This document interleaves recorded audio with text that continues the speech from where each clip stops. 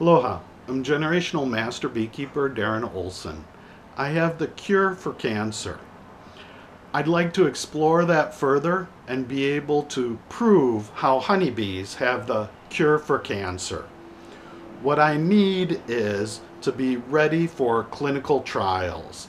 I need to prove it in order to get grant funding from the US government in order to do clinical trials. Mahalo nui loa. Thank you very much.